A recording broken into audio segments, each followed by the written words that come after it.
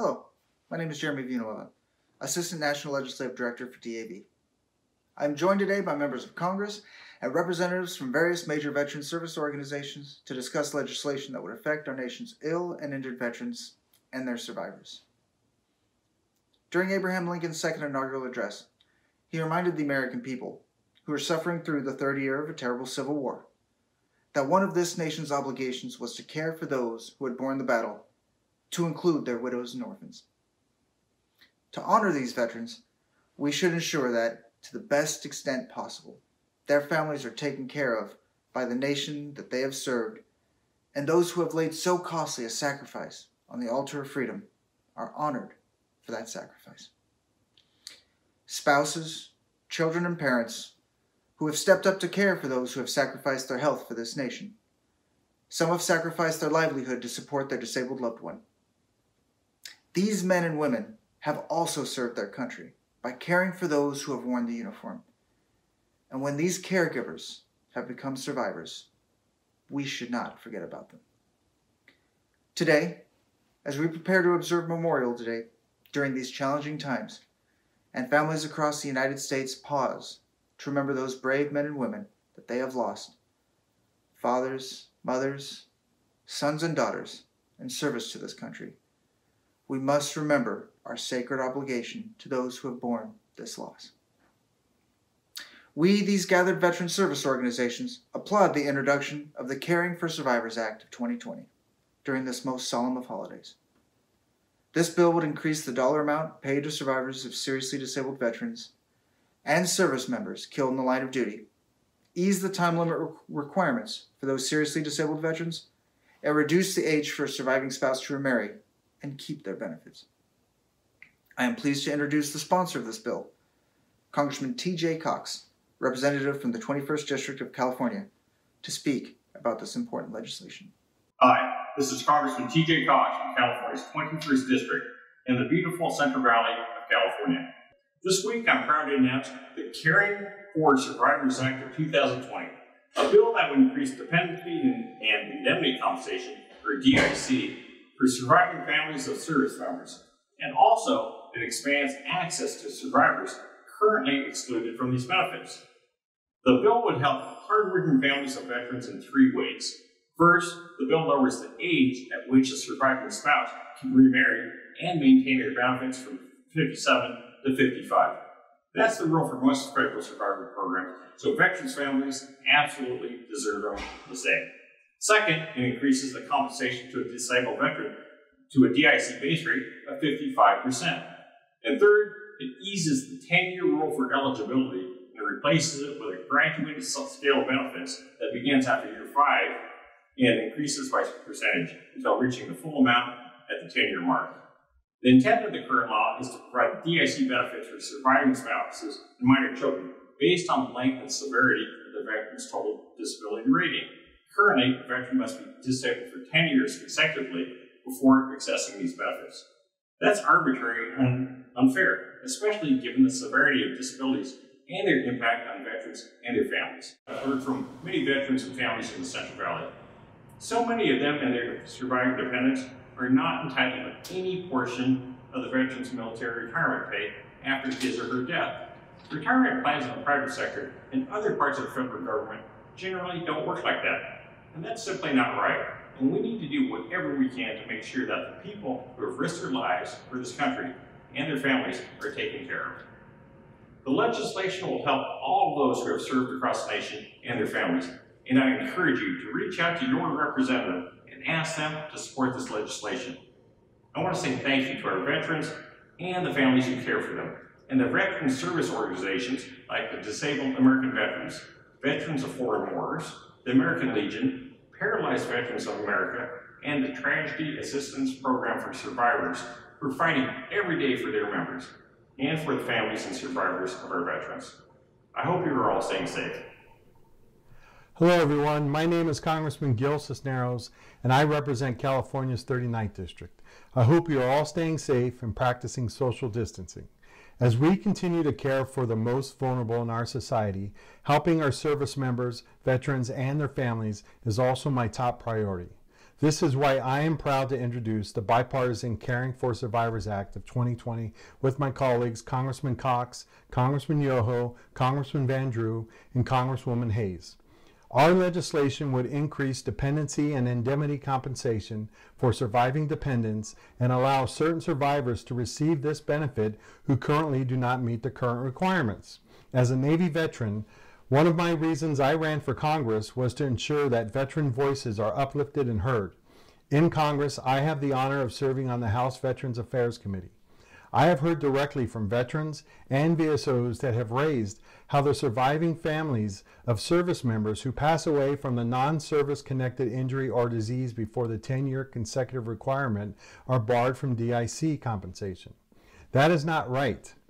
DIC payments were intended to provide the surviving spouses or family members a means to maintain some sense of economic support after the loss of their loved one, and many rely solely on these benefits.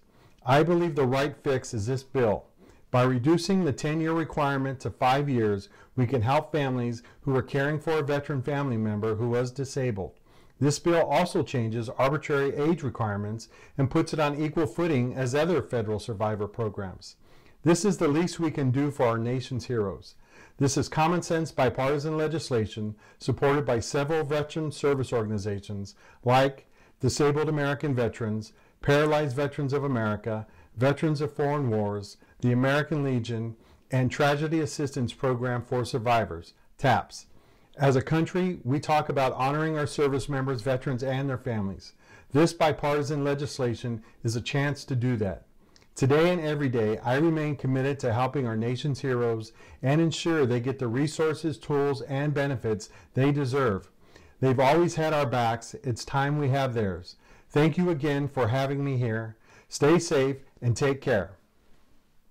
Hello, I'm Maureen Elias with Paralyzed Veterans of America. Paralyzed Veterans of America is the only congressionally chartered veterans service organization dedicated solely for the benefit and representation of veterans with spinal cord injuries or disorders. For nearly 75 years, our organization has ensured that veterans receive the benefits earned through service to our nation, monitored their care in VA spinal cord injury units, and funded research and education in search for a cure and improved care for individuals with paralysis. Today, we want to thank the representatives for their bipartisan support with the introduction of the Caring for Our Survivors Act of 2020. Your strong support of veterans and their families is evidenced by this legislation that would improve benefits for those who lost their loved ones to service-related conditions by ensuring the rate of VA dependency and indemnity compensation they receive is equal to what other federal survivor programs provide. Since PVA's members are veterans with spinal cord injuries and disorders, whose lives can be shortened because of their injuries, we are especially thankful for language lowering the threshold of eligibility for dependency and indemnity compensation. Using a graduated scale to provide benefits for those who lost their loved ones, including those who lost their veteran prior to the 10-year window, would allow more survivors to receive these important benefits. As a country, we owe it to these veterans to care for those left behind especially those veterans who are rendered totally disabled as a result of their military service. The Caring for Our Survivors Act of 2020 will help us do just that. Again, PVA thanks these representatives and their staff for their continuing efforts to improve the lives of our veterans' surviving family members. Hello, my name is Candace Wheeler, and I'm the Policy Director for the Tragedy Assistance Program for Survivors. TAPS is the national nonprofit organization providing compassionate care to all those grieving the death of a military loved one. For the past 26 years, TAPS has worked to support military survivors and to protect their earned benefits. We are honored to support the bipartisan legislation, the Caring for Our Survivors Act of 2020. This important legislation would improve benefits for survivors who lost their loved ones to a service-related injury or disease. TAPS has long advocated for improving VA dependency and indemnity compensation and providing equity with other federal survivor benefits. For many survivors, increasing DIC to 55% will be a much needed financial lifeline. We hear from many surviving spouses who opt not to remarry because the loss of financial benefits would have a negative impact on them, especially those with children. TAPS appreciates that this legislation changes eligibility for DIC for surviving spouses who remarry after age 57 to age 55. We remain committed to ending the remarriage penalty for all surviving spouses. TAPS is grateful to Congress for their continued advocacy on behalf of our nation's veterans, service members, and their surviving families. We are proud to support this legislation and look forward to Congress passing the Caring for Our Survivors Act of 2020. Thank you. I am DAV National Commander Butch Whitehead. When a veteran has served this nation honorably and was disabled as a result of that service, the last thing they should have to worry about is what will happen to their surviving family members should they pass away. But stringent eligibility rules for VA survivor benefits have led to undue stress, anxiety, and financial hardship for families and survivors. It's time we make that right. We are hopeful the Caring for Survivors Act of 2020 will ease the burden on many veterans and their family members, helping ensure the security of their future in the wake of losing their veteran and also honoring the tremendous sacrifice caring for that veteran during his or her lifetime. I would now like to introduce my counterpart, DAV Auxiliary National Commander Diane France. Thank you. My father was a 100% service connected disabled Army veteran. He fell ill during service, severely damaging his heart.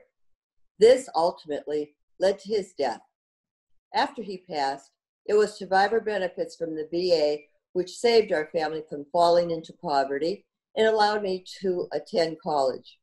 But today, I personally know other survivors unable to receive these benefits because they were weeks or merely days short of the 10 year eligibility rule or have likewise been punished for remarrying too early. I dread thinking of what would have happened to my mother, who gave so much of her life caring for my father when he was ill, had those survivor benefits not been there to provide a security net.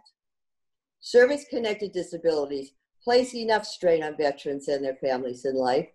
We must care for their survivors to ensure we don't place further undue hardships on them after the veteran is gone.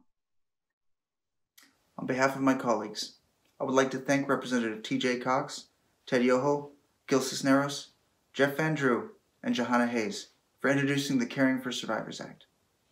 This important legislation already has the support of a growing coalition of veterans organizations, including DAV, the VFW, PVA, the American Legion, and TAPS, amongst others. Just over 50 years ago, President Lyndon Johnson noted that America shows its gratitude not only in memorials which grace city parks and courthouse squares across the land, but more meaningfully in the programs which care for the veterans and their survivors. The Caring for Survivors Act will do just that by strengthening DIC programs to prevent better support for surviving spouses and children of disabled veterans. Thank you for watching this press event, and we hope you will join us and contact your elected representatives to ask them to support the Caring for Survivors Act. Thank you.